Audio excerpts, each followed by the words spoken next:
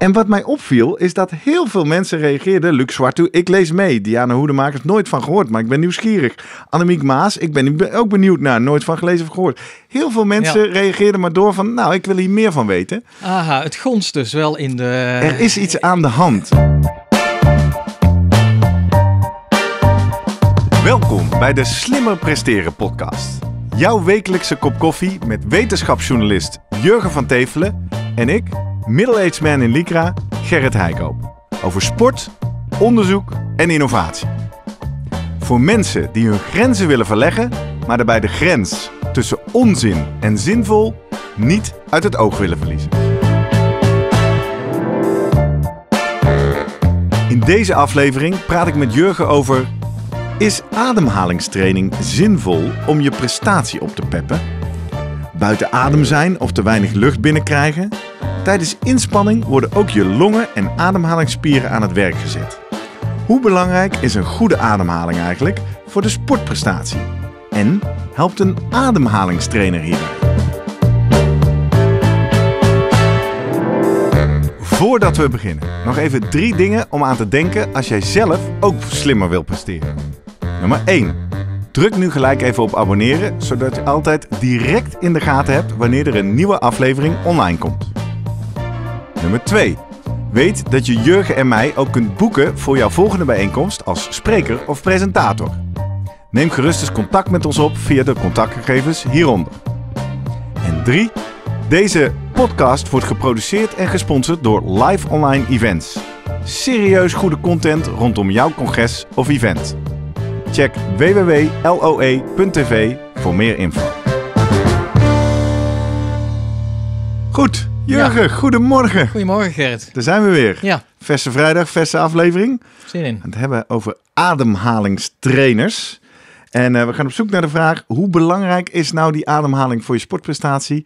En heb je daar dan zo'n apparaatje voor nodig? Wat voor apparaatjes zijn dat eigenlijk? Hoe werken die? Waarom werken die? Ja. Um, en we gaan kijken naar jouw eigen ervaring. Gebruik je eigenlijk een ademhalingstrainer? Nee, maar ik uh, ben het aan het overwegen. Maar ja. daar kom ik zo op terug. Ja, ja. dat vertelde jij, hè? Ja. Door de voorbereiding dat je denkt, nou, ik heb veel geleerd. Je hebt twee reviews gevonden, ook wetenschappelijk. En we gaan natuurlijk straks uh, ook even weer zoomen met Guido Vroemen. Om te ontdekken of hij aan zijn atleten aanraadt uh, om dit te gebruiken. En dan welke, want hij weet altijd veel van modellen. Precies, en het viel mij vooral op, er is een groot prijsverschil. Oké. Okay. Ik uh, dacht, zal ik dan zelf ook even gaan testen ja. voor deze aflevering? En toen kwam ik er een tegen van 60 euro. Een van 260 euro en een van bijna 500 ah. euro. Ik denk, nou... Welke heb je gedaan? Ja, ik heb het eigenlijk maar niet gedaan. Want okay. ik denk, ja, toch te weinig tijd om te proberen. Maar wat ik wel gedaan heb, Jurgen... Ik heb gebruik gemaakt van de kracht van onze steeds groter wordende... Leuk. slimmer presteren podcast community. Ah. Oftewel, social media ben ik opgegaan. Op onze Instagram en Twitter pagina, @slimmerpodcast, heb ik eens even een postje gedaan en gevraagd: heb jij wel eens een ademhalingstrainer gebruikt en waarom? En uh, Joke van de Ploeg, die reageerde meteen. Die zei, uh, nee, ik nog niet. Maar ik ben wel benieuwd naar jullie resultaten. Kijk, nou. Gaan jullie testen? Nou, en ik postte deze post ook uh, op Facebook in twee grote groepen. De groep Triathlon Liefhebbers en de groep Rotterdam Marathon Deelnemers. En wat mij opviel is dat heel veel mensen reageerden. Luc Zwartu, ik lees mee. Diana Hoedemakers, nooit van gehoord, maar ik ben nieuwsgierig. Annemiek Maas, ik ben ook benieuwd naar, nooit van gelezen of gehoord. Heel veel mensen ja. reageerden maar door van, nou, ik wil hier meer van weten. Aha, het gonst dus wel in de... Er is iets aan de hand. En dat is natuurlijk ook de aanleiding dat we het vandaag over dit onderwerp hebben. We kregen ja. een mail van uh, Gerrit Last, die inderdaad schreef, goh, uh, Slimmer Presteren podcast. Ik zie tegenwoordig allemaal artikelen, advertenties ook, en dat, dat zie ik ook in de Facebook reacties. Uh, er wordt flink voor geadverteerd. Ja. De Power Breed, de Aerofit. Uh, is het nuttig? Moet ik er iets mee doen? En uh, wat is de wetenschappelijke basis? Of is het allemaal reclame?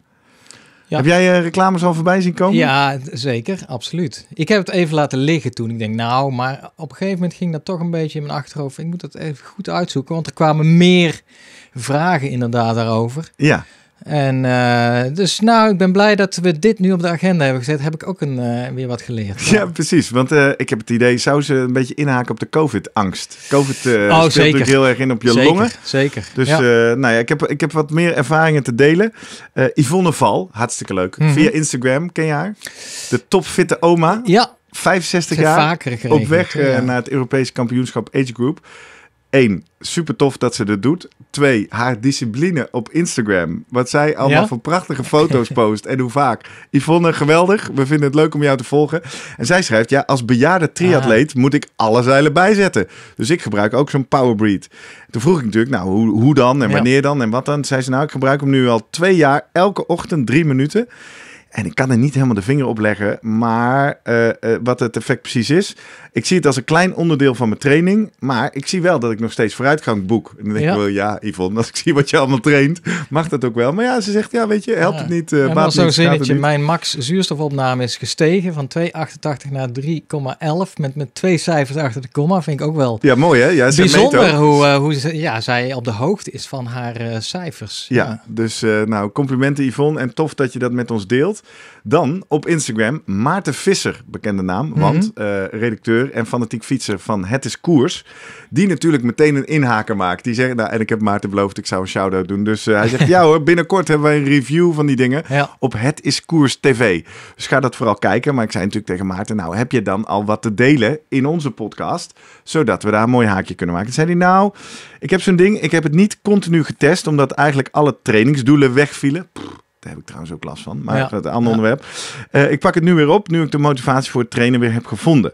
Ik heb in een van de eerste periodes gemerkt dat je longen echt spieren zijn, die ook spierpijn kunnen ervaren wanneer je ze op deze manier traint. Ja. Een mooi extra voordeel vind ik de ademhalingsoefening met betrekking tot mindfulness. En ik denk dat we dat in deze aflevering ook even goed uit elkaar moeten gaan rafelen. Zeker. Want dingen doen met adem, bewust Ja. worden van je ademhaling is sowieso goed. Ja, Maar, daar weet jij ook meer van. Hebben we met de, de slaapuitzending ja, ook al over ja gehad. maar eh, dan is natuurlijk de hamvraag. Is daar een apparaat van een aantal honderden euro's voor nodig? Dat gaan we zo opzoeken. Hij schrijft verder nog: Een ander voordeel vind ik de verschillende trainingsdoeleinden. Iedere sporter kan ermee eh, uit de voeten. Of je nu bent van de lange duur of van de intervalwerk. Gericht trainen van de longcapaciteit is erg welkom. En toen een hele leuke. is de eerste tip en waarschuwing. Hij schreef nog als een nabrander.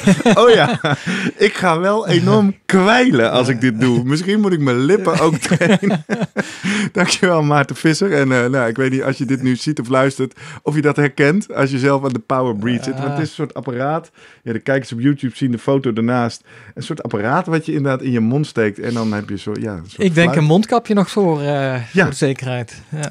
We hadden op Twitter, het slimme podcast, René Vosters, die schreef... eh, ja, ik gebruik wel zo'n ding en ik had er ook wel de indruk dat ik er profijt van had. Dus ik zei, nou ja, hoe dan, wat dan? Hoe, je- wa- wat was voor jou de aanleiding om zo'n setje aan te schaffen? Ze zei, nou, de, ik heb er een gewonnen, zei hij. Ik heb een setje Ja. gewonnen.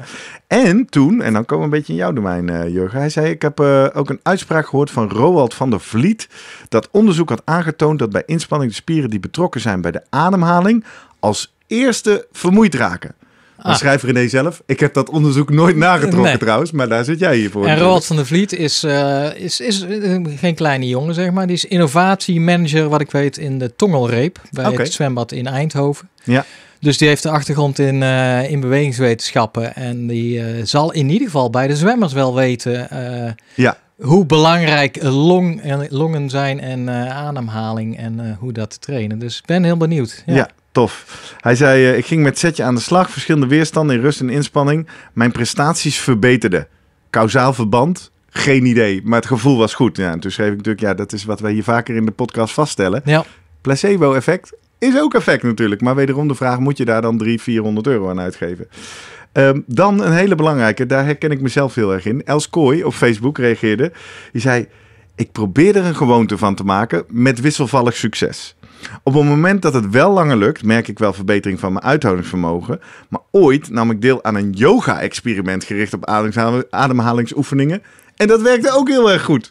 En eh, toen zei ik, wat was dan een aanleiding voor jou om zo'n apparaat aan te schaffen? Zei ze, ja, mijn coach raadde het aan Ah. op basis van mijn inspanningstest. Dus dat ja. gaan we zo even bij Guido Vroemen checken. Eh, en Marloes Vos haakt daar nog op in. Die zegt, eh, nou, zo'n low-budget variant werkt ook prima. Maar ja, ik doe er eigenlijk te weinig mee. En dat doet mij toch vermoeden, eh, zou het niet ook een effect zijn op het moment dat jij zoveel ruimte hebt in je hoofd, in je training, dat je tijd maakt voor gedisciplineerde ademhalingstraining? Ja, dan ben je volgens mij sowieso op een plek waar je sowieso goed gedisciplineerd bezig Tuurlijk, bent, toch? ja. En als jij 250 euro uh, uitgeeft, ja, dan ga je dat ding denk ik ook wel wat serieuzer gebruiken. Dus ik bedoel... Maar dat is dan weer een positief placebo-effect, hè? Ja. mentaal effect. Ja. En dan de laatste reactie die ik even mee wil nemen van Stefan Klappen.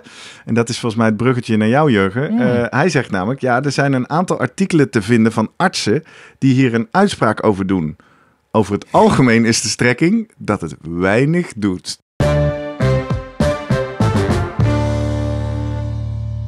Nou, dan gaan we naar onze wetenschapsjournalist Jurgen. Vertel ja. eens. Nee, we beginnen bij het begin. Ademhalingsspieren trainen. Wat doen ja, we? Nou, de eerste gedachte die in mij opkomt van... Uh, ja, nee, dat is niet nodig. Omdat als je kijkt naar zuurstofopname... Nou, dat is natuurlijk de basis voor duurinspanning.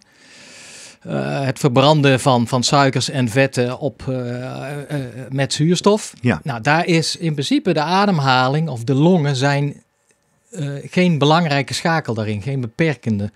Ja, je hebt in dat principe, is een belangrijk verschil, denk ik. Geen belang, een hele belangrijke ja, schakel, maar je zegt dat is niet geen beperkende. beperkende. Zo heb ik het altijd geleerd. Als je kijkt gewoon van, nou ja, zuurstof moet opgenomen worden. Gaat de longen in, wordt opgenomen langs de, in het bloed, wordt dan rondgepompt door het hart. Nou, uh, en gaat uiteindelijk naar de spieren, naar de mitochondriën, waar, het, uh, ja. waar de, ja, die energiefabriekjes, daar wordt het verbruikt. Er zitten een aantal schakels in het hele proces, waarbij uh, de longen gezien worden als niet een, ja, geen beperkende schakel, veel meer het hart en dus die aanvoer van bloed. Vandaar dat met EPO, dus meer rode bloedcellen, dat dat vaak, dat, nou ja, dat de bewijzen er wel zijn, hoewel sommige wetenschappelijke studies uh, nog ja, het, het, nut van ja, EPO want, betwisten. Ja, precies, dat is EPO. Uh, en dan kom jij vast zo via een omweg naar dat verhaal ja. van Roald. Want die zegt wel degelijk, ja, de longspier gaat nou als eerste moe worden. Dus dat was mijn eerste gedachte. En het is ook, kijk, als je kijkt naar je longcapaciteit. Uh, het is niet zo dat elke, alle lucht die jij per ademhaling naar binnen zuigt in je longen, dat die ook allemaal wordt opgenomen in je bloed. Dat Aha. blijft altijd gewoon een, een, restvolume van 20, 30 procent achter. Uh, ook tijdens max, maximale inspanning. En dat is logisch, want als jouw longen helemaal uh, leeggezogen zouden worden, ja, dan zou die, die, zou die aan elkaar gaan klonteren zelfs. Dus ja. je, moet, je hebt wel wat lucht nodig om überhaupt een beetje open te houden. Maar het geeft ook altijd aan, ja, er is altijd een restcapaciteit. Niet alle lucht wordt, of, en zuurstof wordt opgenomen. En, CO, en nou ja, de zuurstof opgenomen, CO2 uitgeblazen. Dat was mijn initiële gedachte van, nou ja, lijkt me niet nodig. Mits, natuurlijk. Mits, mits en maar, hoor Mits ja. er van alles aan de hand is. En ja. dat weten we. Er was laatst, werd reclame gemaakt voor, uh, of aandacht voor, de, voor het Longfonds. En hoorde ik 1,2 miljoen Nederlanders hebben uh, een probleem met hun ademhaling. Lees astma, COPD.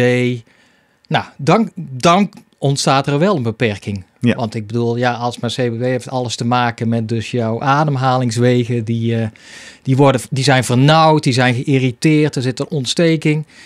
Waardoor er gewoon veel minder uh, ja, zuurstof uh, en lucht naar binnen stroomt en ja. CO2 afgeblazen kan worden, ja. ja, dan ga je wel een beperking uh, uh, zien.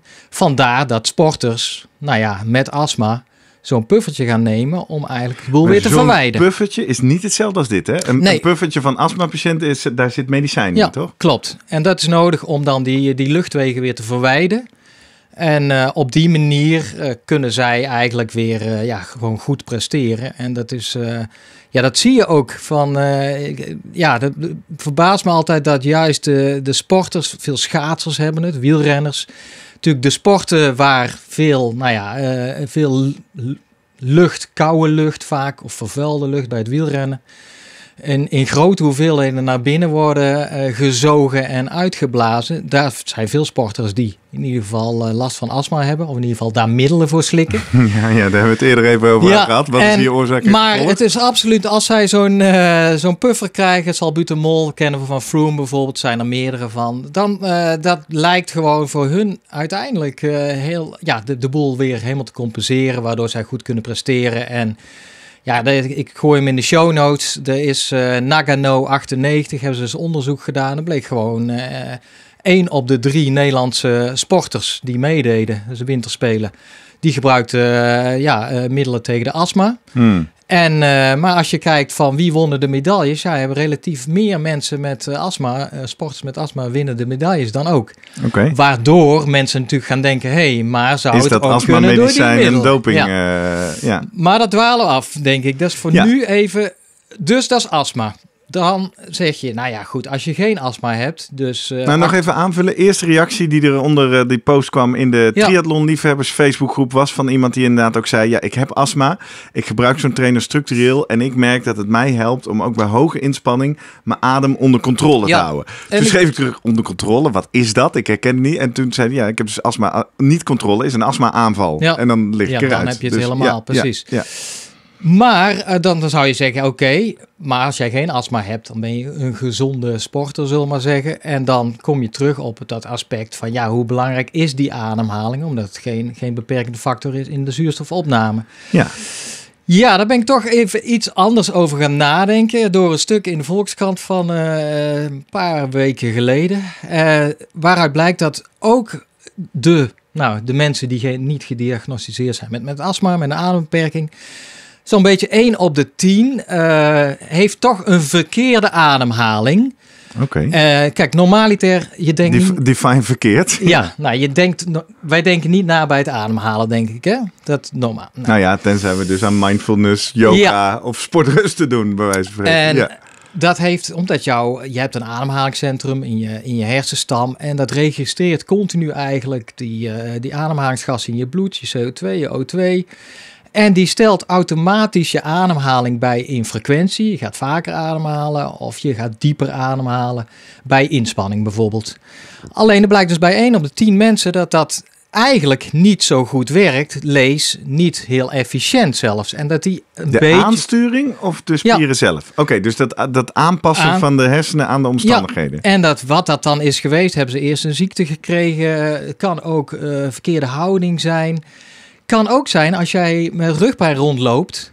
En, en ik moet zeggen, ja, dan even een kort. Zijn we terug bij jou? Ja. Ja, want wat mij eh Voor de, voor de kijkers en luisteraars die voor het eerst deze podcast ontdekken. Jij hebt eh, last gehad van een flinke hernia. Ja, en, nou, en bovenop, dan kan ik, nou, ik eh, durf het bijna niet te veel. Ik ben vorige week gevallen. Niet.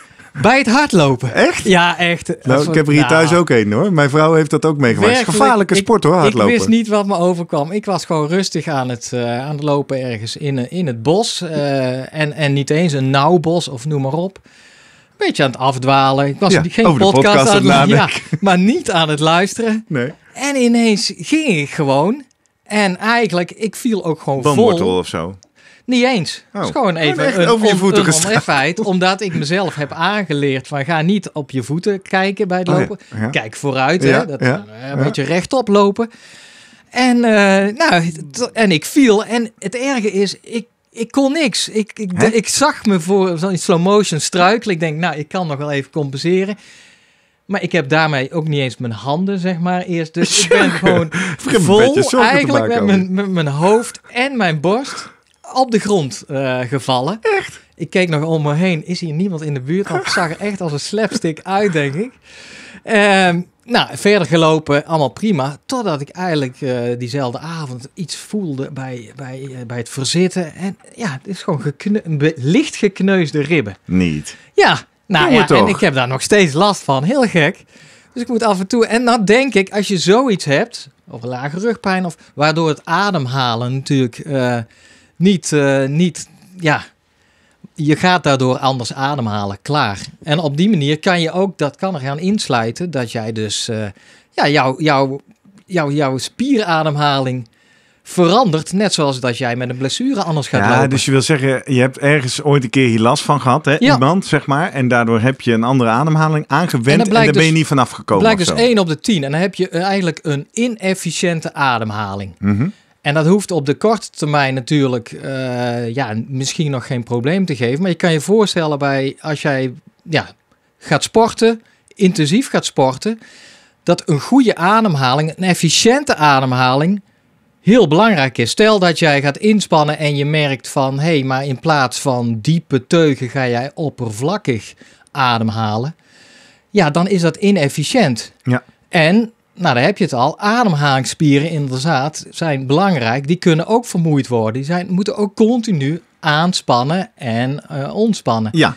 En je kan je voorstellen, als jij de verkeerde spieren inzet of spieren verkeerd inzet, ja, dat, dat kost on, onnodig energie en zuurstof. Uh, en vandaar dat ik uh, daar eens over ging nadenken, een studie tegenkwam waarbij ze eigenlijk uitging van ja, wat is dan een efficiënte ademhaling tijdens het lopen? En wat dan opvalt is dat goede lopers, die, uh, die lijken hun ademhaling te zinken met hun uh, pasfrequentie. Oké. Okay. En dan is eigenlijk uh, één keer in- en uitademen met vier passen is een beetje wat, nou ja, wat gevonden wordt. Blijkt dan ook nog in het... Define goede lopers. Zijn ja, de nee, topatleten ja, in de marathon? En, en dat dan beginners dat ja, niet hebben. Oké. Dus dat zinken. Nou ja, dan, dan heb je natuurlijk van die, die evolutionair biologie zeggen, ja, maar in het dierenrijk komen we dat overal tegen. Vogels en paarden doen het namelijk ook. En als je uiteindelijk goed inzoomt, dan merk je van ja, maar het is niet stevast 1 op 4. Uh, soms is het dan uh, 2 op 5 en soms is het helemaal niet. Is het wel echt, uh, is, is het... het wel zo? Dat is één. En hoe belangrijk zou het zijn? Dus er is een studie geweest, die gooi ik in de show notes, vond ik heel interessant. Hebben ze een Duitse studie, hebben ze mensen gevraagd, goede lopers, op een virtueel parcoursje gezet, van langs de meer geloof ik. Nou, drie condities. Uh, ga hard lopen. Eén, denk aan je loophouding. Twee, denk aan je ademhaling. Drie, let op de omgeving. Mm -hmm. En dan het zuurstofverbruik gemeten als maat voor uh, efficiency. Hoe uh, economisch loop je? Nou, het bleek gewoon als jij je concentreert je op je loopstijl, maar ook op je ademhaling, ga je minder efficiënt lopen. Minder? Dus, nee, ja, dus die mensen werd eigenlijk een beetje... En wat zij gingen doen, zij gingen geforceerd minder vaak in- en uitademen. Ja, en dat was een subtiel verschil, maar je kan je dus... En ik, ik weet niet hoe jij, als jij gaat lopen, maar dat is wel een riedeltje bij mij van dat ik, uh, ja, je moet ergens aan denken, door de neus in en, uh, en uit via de mond. En let op je ademhaling. nou, toen ik die studie las, denk ik, nou, dan moet ik kappen, helemaal kappen. loslaten. Dat is dus geen... Uh... Ja, ik heb hier nog wel een anekdote. Ik besef me dat ik deze natuurlijk al wel eens verteld heb. Onder andere recent in de aflevering over kramp. Maar ja, voor de mensen die ons nu voor het eerst ontdekken. Je weet natuurlijk uh, dat ik uh, twee ja. marathons heb gelopen. In mijn tweede marathon heb ik nou, niet een experiment. Ik heb getraind met sportrusten. En dat haakt eigenlijk wel aan bij nog bij een opmerking die we kregen van uh, Hans mm. Luijendijk op uh, Instagram ook. Slimmer Podcast. Die schreef, nou, ik doe wel ademhalingsoefeningen via sportrusten. Telt dat ook, ja. schreef hij. Nou, dat is natuurlijk niet een ademhalingstrainer, maar wel ademhalingstraining. Toen vroeg ik aan hem, werkt dat? Nou, zei hij volledig subjectief, want dit is niet gemeten. Maar als het zwaar wordt en je kunt terug naar je ademhaling, kun je langer ritme vasthouden en langer doorgaan. Nou, mijn eigen ervaring, die sportrusten ademhalingsoefening zegt dus eigenlijk... hou na het uitademen heel even vast. Ja. Hou een seconde in, of nou, niet, hou even vast voordat je weer inademt. Nou, dat doet twee dingen. Eén, het maakt je natuurlijk heel bewust van je ademhaling. Nou, ik begrijp net dat die studie eigenlijk niet zo'n goed idee. Ja. Maar twee, ze hebben daar ook in het boek een heel verhaal over... dat dat uh, de, de zuurstofwisseling helpt, waardoor er meer zuurstof in je bloed ja. komt. Dus zij adviseren, grote disclaimer heb ik eerder gemaakt, om dat dan ook twee keer per dag 10 minuten te oefenen. Ja. Dat had ik niet gedaan, zoals Hans Luijendijk. Maar ik had wel die oefening onthouden. Dus ik heb tijdens de marathon. Want ik heb ook gemerkt, dat is wel zo, toen, als ik hem doe, die oefening helpt mij wel om mijn hartslag omlaag te brengen. Mm. Dus ik gebruik hem wel eens in mijn werk ook. Als ik stress heb, als ik adrenaline heb, kan ik daarmee mijn ademhaling omlaag brengen. Dus ik in mijn tweede marathon zag zo rond 12 kilometer mijn hartslag omhoog komen. Ik denk, weet je wat? Ik moet mijn hartslag laag houden. Ik ga ademhalingsoefeningen doen. en dat werkte ja. fantastisch. Ik kreeg die ademhaling mooi vlak, mooi laag. Feit is wel, ik begon daar rond kilometer 12 mee. Uh, nou ja, jij kent dit verhaal, dus je zit dat lachen. Maar rond kilometer 35 had ik dat dus ondertussen zo'n anderhalf uur gedaan.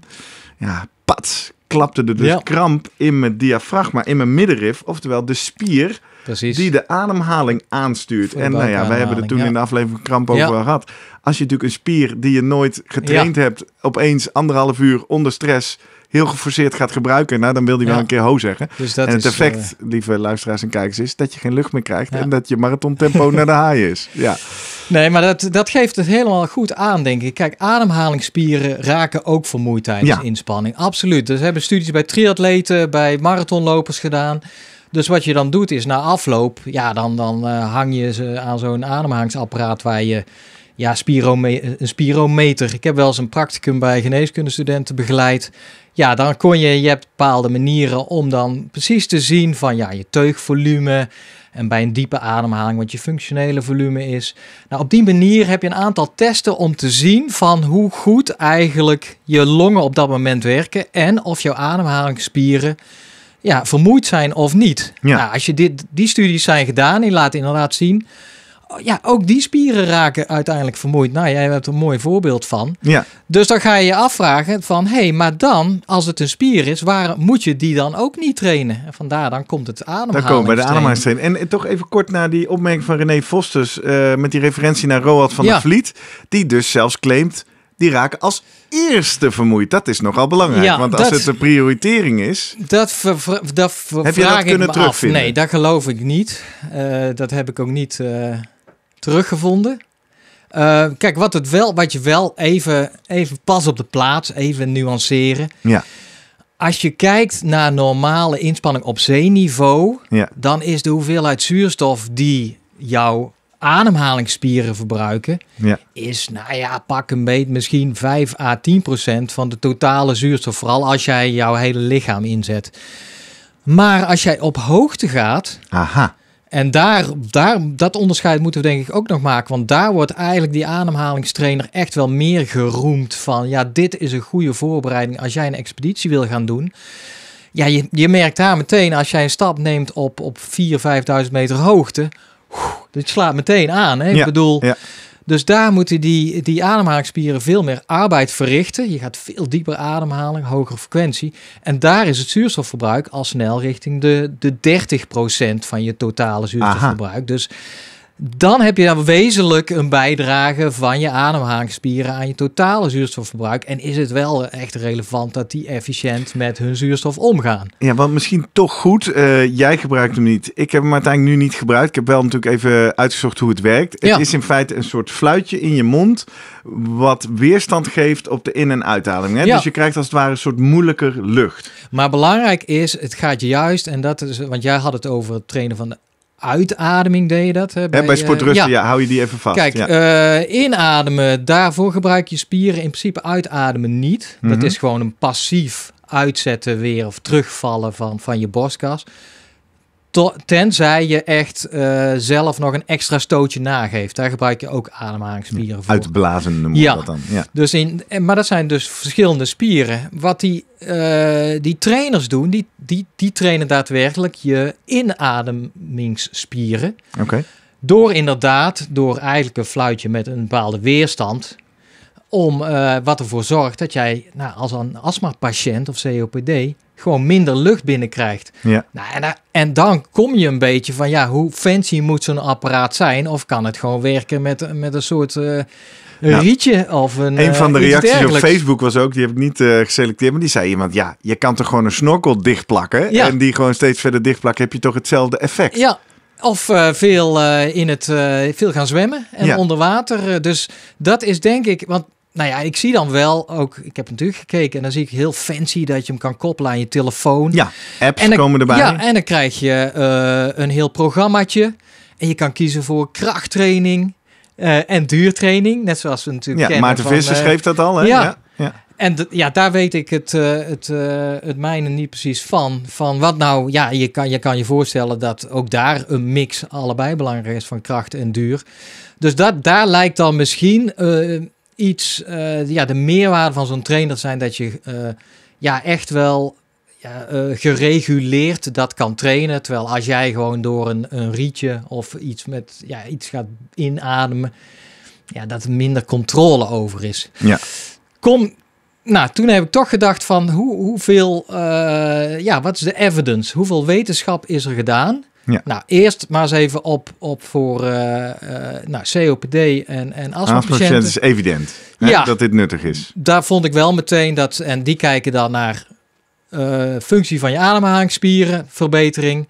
En uiteindelijk ook nou, ma- maximale zuurstofopname, verbetering. En sportprestatie. Lees een inspanningstest of een, een fietstest of een, ja, wat ze doen, een shuttle run test. Ja. Evident. Nou, die groep duidelijk. Ook als je wil inspannen op hoogte. Ja. En dit als voorbereiding eigenlijk doet. Je, dus, je doet zes weken van tevoren een soort programmaatje. Dan doe je een inspanningstest in een gesimuleerde hoogtekamer.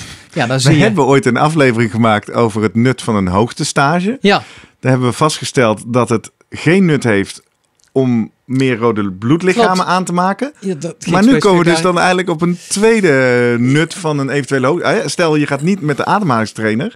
Dan zeg je dus eigenlijk wel, het heeft wel zin Ja, om op maar- hoogte te zijn om dit te trainen. Ja, maar dan zeg ik, zij hadden die ademhalingstrainer gebruikt op zeeniveau. Ja. Als voorbereiding op, omdat juist Nee, dan... maar ik bedoel, maar als je dan dus op je hoogte gaat voorbereiden, dan heb je toch in feite diezelfde voorbereiding ook Ja, dan? dus ik, ik ben eigenlijk benieuwd of de mensen die op hoogte zijn gaan dit nu ook stevast van tevoren doen. Dat is misschien wel een, een, een leuke vraag om... eh, Ja. eh, en dan... eh, een, nou, en dan ga je nou, ook duidelijk effecten van ja, dat het goed is in voorbereiding op. En dat heeft deels te maken omdat die, ja, die afhankelijkheid van goede ademhaling. Ja, die is Efficiënte belangrijker als er minder zuurstof is. Precies, want dan ja, worden je, je, je longen worden meteen belast door de, ja, de, de zuurstofarme lucht. Ja. Hoe zit dat op zeeniveau? Nou, en daar is toch ook eh, is wel een, een review van een paar jaar geleden. Kwamen uiteindelijk 21 studies, vonden zij goed uitgevoerd bij verschillende soorten sporters. Dus van, van zwemmers, triatleten zaten er tussen, marathonlopers. Toch maar weer even uitleggen, wetenschappelijk gezien. Een review is een studie van mensen die zeggen... laten we nou eens even kijken. Al het onderzoek wat er gedaan Ja. is naar het onderwerp... leggen we op een hoop naast elkaar. En daar proberen we een, een overall conclusie Ja, uit te en trekken. dan, want dat is ook eh, met een, een placebo of sham behandeling. Wat Hoe ze dat, nou precies doen? Ja, dan geven ze wel het apparaatje. Ja. Of geven ze ook de training. Ja. Alleen dan niet op de juiste manier of met minder weerstand Oh ja. bijvoorbeeld. Dat denk ik, ja, maar dan heb je het toch door uiteindelijk. Maar Maar dan heb je in ieder geval dat effect wat Ja. we al even in het begin noemden... Eh, van bewust omgaan met je ademhaling. Precies. Waar waarschijnlijk Ja. al heel veel positieve effecten En die hebben ze gefilterd en meegenomen juist. En zij lieten ook, lieten ook zien, ja, logisch, je ademhalingsspieren worden sterker en raken minder vermoeid. Nou, dat is prima.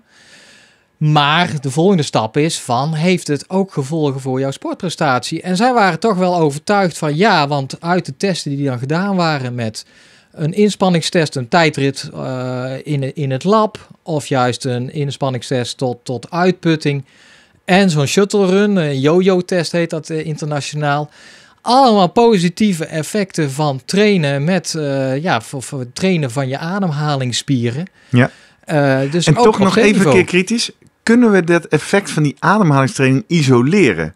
Want ik blijf maar denken, eh, ook eh, mezelf als referentie nemend, op het moment dat ik op een plek ben waar Mhm. ik zoveel tijd en discipline in mijn training kan stoppen, dat ik ook ruimte heb om ademhalingstraining te doen, nou dan kan ik je vertellen, dan zit mijn looptrainingen Ja. en mijn andere discipline en mijn voeding zit ook wel goed. Dus dat is eh, inderdaad, eh, in hoeverre is jouw hoge intensiteits intervaltraining, is dat ook niet al een ademhalingstraining? Ja. Ja, Nee, dus mijn vraag is eigenlijk in hoeverre in deze wetenschappelijke Ja. studies is het effect van de Ah. ademhalingstraining te isoleren? Eh, lastig, want zij krijgen inderdaad een trainingsprogramma. En eh, daar valt dit een onderdeel, eh, maakt er uit, vaak wel van zes dagen in de week, drie keer per dag. En dan, ja, daar heb je ook een punt. En dat zeggen die reviewers ook van. Het is niet eenduidig welk programma nou het beste werkt. Hmm. Er, is, er is een programma wat heel veel mensen volgen. Ja. Maar ja, daar is dan ooit iemand mee begonnen. Dat is misschien wat de fabrikanten. Dus zij zeggen, daar valt nog winst te halen. Ten eerste van, wat is nou het geschikte programma? Ja. En, en ja, moet je zo'n duur programma of krachtprogramma? Eh, ja, leuk dat jij op je telefoon dat mooi kan, kan zien. Want je ziet dan ook volgens mij juist allerlei golfbewegingen van... Ja, die dan nabootsen van hoe diep jij ademt, Mhm, et cetera. mhm, mhm. Eh, maar eigenlijk is dat nog onontgonnen terrein. En ten tweede zeggen zij ook, ja, kijk, we moeten nou niet doen van dat iedereen daar zomaar profijt van heeft. Want waarom niet iedereen? Nou, omdat zij, als zij goed kijken, zeggen ze bij zwemmers bijvoorbeeld en Ja. divers van die onderwaterduikers. Ja, daar zagen ze eigenlijk dat dat effect. Kijk, ze gooien alles op, de, e- op die 21 studies. En dan gemiddeld genomen is er een effect. Maar als je daar dieper in duikt, dan zie je ook wel studies die geen effect laten zien. Bijvoorbeeld bij die zwemmers. Ja. Omdat zij Trouwens, zeggen, ook ja, een van de eerste reacties op Facebook. Dat iemand zei, joh, ik ben al 25 jaar Ja. wedstrijdtrainer. eh, of wedstrijdzwemmer.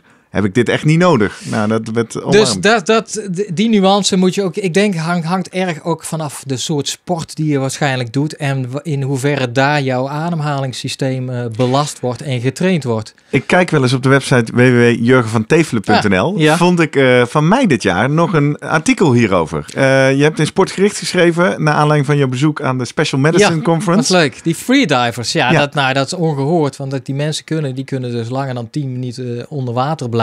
Ja.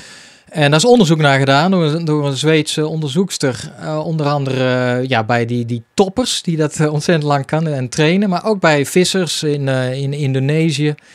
Die dat voor hun beroep doen. En dan blijkt als je dat. Ja, die zijn de hele dag aan het speuren. Onder water zijn ze naar, naar, naar slakken, schelpen. En, en vis aan het afschieten met, eh, met zo'n eh, pistool, met zo'n met zo'n pijl- en boogachtig Ja, ding. ja. En die, eh, ja, zij concludeert, die zijn eigenlijk bijna 40, 50 procent van de tijd onder water. En ja, daar gaat het lijf ook aan aanpassen. Dus wat het is, zij heeft gemeten, long, die longvolumes van hun, die zijn ja, gigantisch. Ja. En zij hebben dus een enorm getraind ademhalingsstelsel.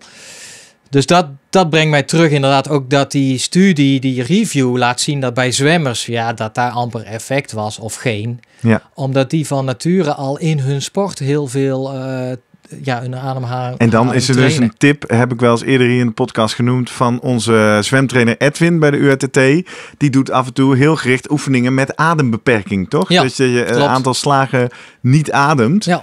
Ook om datzelfde trainingseffect te bereiken. Precies, en dan ga je afvragen in hoeverre heb je zo'n fancy apparaat nodig eh, als het bijvoorbeeld op deze manier ook kan. Als jij, ja, ja, je gaat lekker bij het zwembad of gaat in je eigen bad liggen. Ik- Dat is nog altijd iets wat ik altijd doe, eh, is Ja, kijken hoe lang ik je onder water in kan blijven. Ja, toch? Nee, Nou, maar misschien moet ik dat gaan doen. dus, dat is, dus ik denk dat aandacht voor ademhaling en het trainen daarvan is belangrijk. En ik denk nog steeds dat ja, het meest profijt hebben dan die groep mensen, die 1 op 10 die de Volkskrant Ja. over had, van die mensen die niet helemaal doorhebben dat hun ademhalingsregulatie een beetje verstoord is en Ja. waarschijnlijk tijdens inspanning ze daardoor inefficiënt aan het ademhaling zijn. Dan is het En logisch. mensen met astma en COPD Ja. ook, dat is duidelijk, die zijn patiënten. Ja. Ik heb een idee. Zullen we het gaan vragen aan Guido Vroemen? Lijkt me een goed plan. We gaan zoomen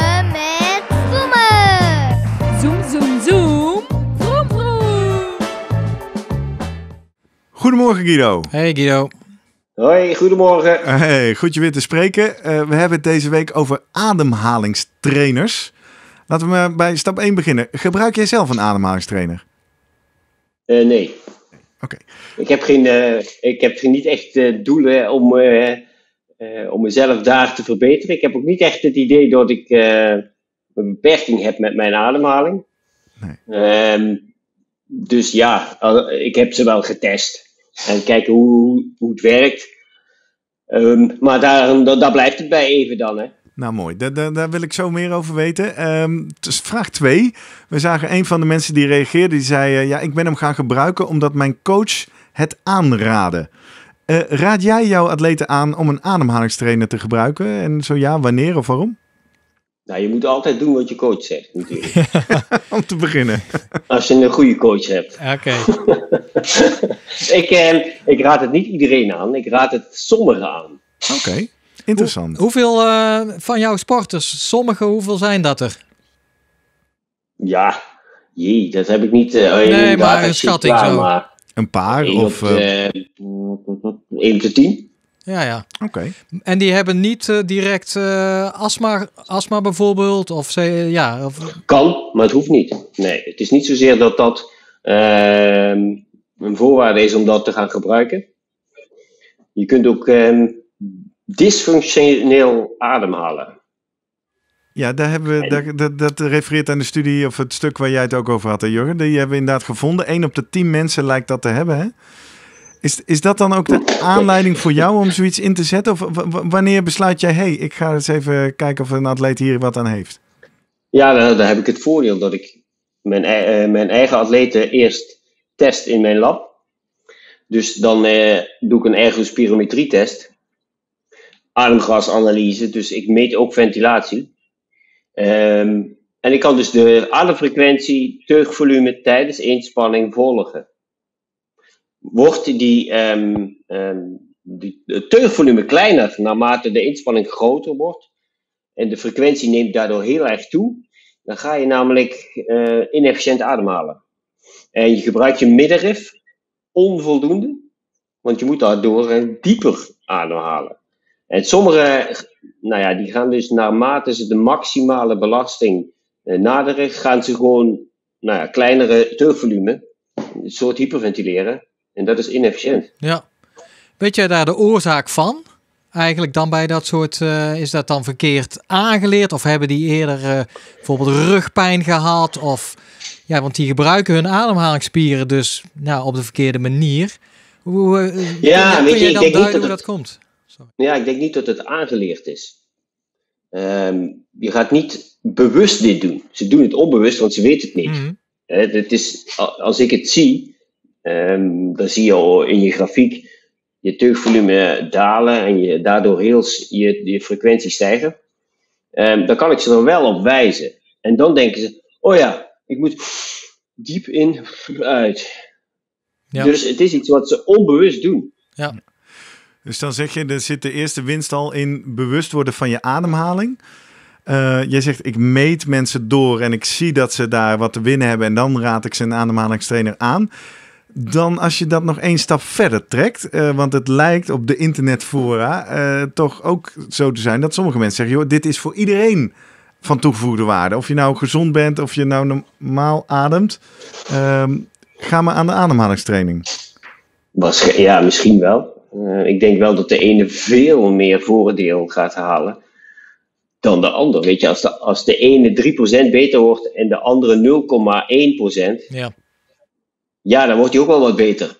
Ja. Maar ja, dat voel je, daar merk je geen kloot van. Ja. nee, precies. Maar Ja. dat, dat is een goed, goed antwoord. Want dan komen we op de hamvraag van deze aflevering. Ademhalingstrainers, is het zinvol of onzin? Uh, volgens mij zijn we het met z'n allen over eens. Als ik jou ook beluister en wat, wat Jurgen en ik net bespraken.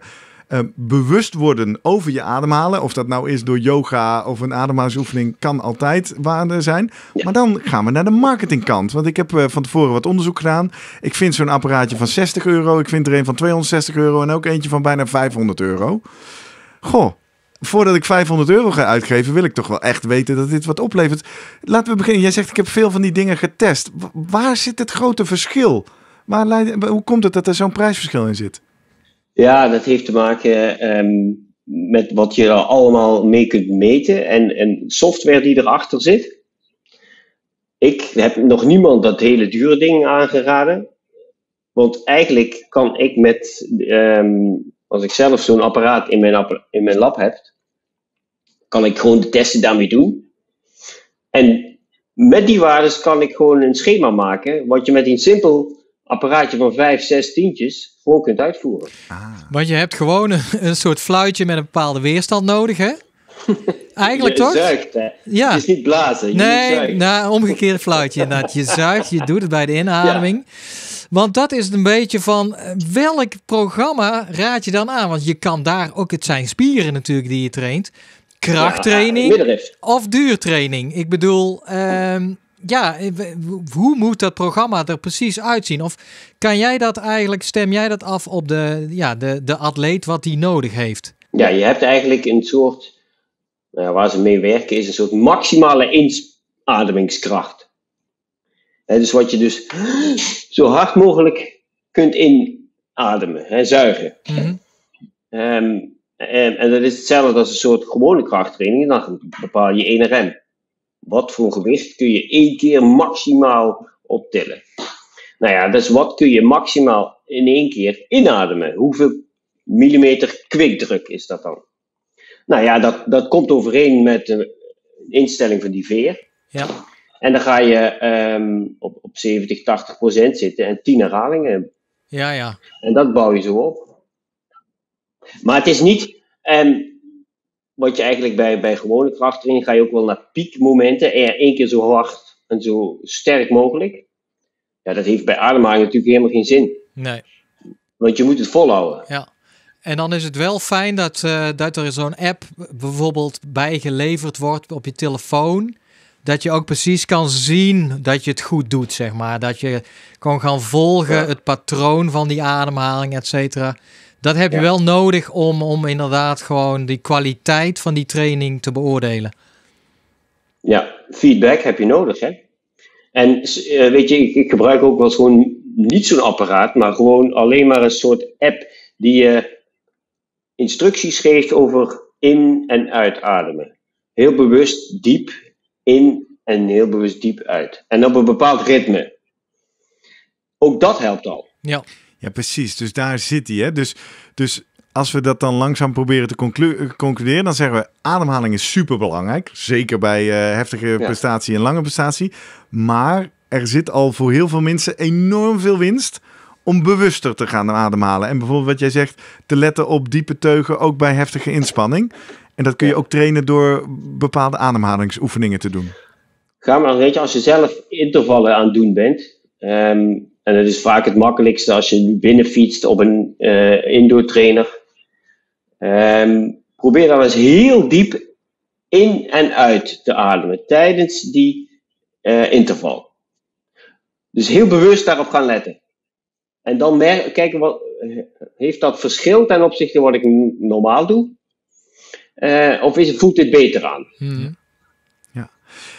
Hey, en dat is dan het trainen van bepaalde controle en ook teugvolume. Ik lees dan tot slot nog ook wel mensen die zeggen: ja, maar door zo'n ademhalingstraining eh, eh, vergroot ik longvolume en longkracht. Zit daar dan nog iets waarvan je denkt: ja, dat is wel echt nuttig? Of overschatten we Ja, long, long volume, daar moet je eh, niet te veel illusies over maken. Dan ga je niet groter maken. Nee. Oké, je, hebt, je hebt een bepaald volume. ehm, eh, en dan ga je niet ineens een liter bij trainen. Je, gaat het wel, je kunt het wel kleiner maken. Dan moet je slechte dingen gaan doen, zoals roken. ja, ja, ja, ja. Groter maken, nee, dat, dat is ook niet, denk ik, eh, het doel van deze training. Longkracht, ja, daar eigenlijk doel je dan op eh, ademspiertraining. Hè, dan worden die spieren beter getraind. En dan heb je dus meer kracht om harder uit te ademen en harder in te ademen. En het heeft, kijk, bij maximale inspanning moet je heel snel lucht in en uit. En hoe sneller je dat kunt, hoe meer lucht je kunt ventileren. ja, dus daar zit de toegevoegde waarde van zo'n training en van die ademhalingsbewustzijn. Ja, En ze raken minder snel vermoeid, denk ik dan ook, hè, bij een eh, langdurige Ja. inspanning. Dus je traint. ja, ja, ja. ja, ja. Als, Ja. als je je, je ademhalingsspieren beter getraind hebt, ehm, zullen ze zuiniger zijn, ben je efficiënter. Kijk, het is efficiënter om diep in te ademen en diep uit te ademen. Is de frequentie wat lager. Dan als je heel snel dezelfde hoeveelheid in en uit, met, dat kost veel meer energie. Weet jij, want dat vraag ik me nu af, hoe de verhouding is tussen eh, rode en witte spiervezels in, eh, bij die ademhalingsspieren? Weet jij dat? Nee, Nee. nee. nee nou, leuk voor op de lijst voor Ja. 2021. Ik denk, Moeten we uitzoeken. ja. Ik maar, zou een biopt, wil je een biopt gaan nemen? Ja, ja. Wil jij dat doen? Of, eh? Ah ja, we kan het proberen. ja, Je moet wel even informed consent invullen. ja, dan. lijkt me goed. Hey, en dan eh, de, de hamvraag voor deze aflevering, Guido. Eh, even buitengesloten, eh, want ik hoor eigenlijk wel, je protocol of advies eigenlijk, ga het maar laten testen bij een sportarts zoals jij of een collega. Doe zo'n eh, test en als die vaststelt dat je wat te winnen hebt op het gebied van ademen, dan ga dat vooral doen. Maar nu is de, de algemene vraag, wat nu lijkt, dat dit voor iedereen goed is. Dus sporters die geen astma hebben, geen COPD en niet vastgesteld door een sportarts of trainer dat ze ademproblemen hebben, is het daarvoor zinvol of onzin om zo'n 300 euro aan een ademhalingstrainer uit te geven? Wat zeg jij? Eh, ja, ja, die 300 zou ik niet doen. Nee, onzin. Ik zou wel, weet je, ik zou wel naar die, die 60 euro, hè, die heb je ook, Ja. die Ja. trainers. En dat kun je altijd proberen. Weet je, daar, je, je, je wordt in ieder geval bewuster van je ademhalen. Exact. En dat, dat is wat je merkt. En daar wil je best zestientjes voor uitgeven. Exact. Want dan heb je, 300. dan heb je een lekker fysiek Ja. apparaatje wat jou eraan herinnert van, oh ja, ik ga mijn ademhalingsoefeningen doen. Ja. Ja. Ja, ja. Of je hebt de discipline om dat gewoon iedere dag 10 minuten op de bank te doen. Ja, die had ik niet, maar dat heb ik al verteld eh, in deze podcast. Ja, super. Nou, ik denk eh, concreet advies, interessant onderwerp. En eh, nou ja, Jurgen die zei al dat hij helemaal getriggerd is. Dus eh, Jurgen, wat, wat is nou jouw conclusie? Want jij zei, ik Ja. heb veel geleerd. Nu Guido's Nou, nuance ik, eroverheen. ik, zoals Guido ook begon, ik, bij- mijn klassieke beeld was altijd: ademhaling is in principe geen beperkende factor in het eh Ja. zuurstofopname. maar, Mits, mits je natuurlijk COPD of astma hebt. Maar kom ik erachter, ja, dat ligt toch een stukje eh, ingewikkelder. Dat er ook een groep mensen is die gezonde atleten zijn. Eh, ja, zonder eh, die longproblemen zoals ik noemde. Maar dan Ja. toch het probleem kunnen hebben van inefficiënte ademhaling. Of in ieder geval ademhalingsspieren die sneller vermoeid raken. Ja. En, eh, en dat het dus daadwerkelijk aan, ja, getraind kan worden, die ademhalingsspieren. Ja, dat, eh, dat is nieuw voor mij. Ja, ja maar het is een eh, gebied wat zwaar belast wordt bij duursporten, hoog intensieve sporten. En ja, dan is het een soort beroepsziekte wordt het dan. Hè? Omdat je dat zo zwaar belast, dan moet je dat ook extra trainen. Mooi. Mooie aanvulling, eh, Guido. Fijn eh, dat je weer even bij ons was om te zoomen over de ademhalingstrainer. Dan eh, sluit ik bij deze de bekende riedel af. Wij horen graag jouw aanvullende vragen, opmerkingen, tips die jij misschien nog hebt. Deel je ervaring via social media. @slimmerpodcast op Twitter en Instagram. Guido Vroemen kun je vinden als de @sportarts op Twitter. Ga hem ook volgen, want daar komt veel leuks voorbij. Of je kan op onze mailinglijst komen. Ga naar onze website www.slimmerpodcast.nl. Daar staat bovenin een vakje. eh, eh, schrijf hier je e-mailadres en verras mij iedere week. En je kan daar ook een eh, pagina van iedere aflevering vinden waar je jouw reactie kan achterlaten. Of je kan ons direct mailen via post.slimmerpodcast.nl. Tot zover. Eh, ik ga even lekker wat ademhalingsoefeningen doen. Tot volgende week. Frisse lucht. Tot volgende week, Ja. Guido. Hoi hoi. Yo.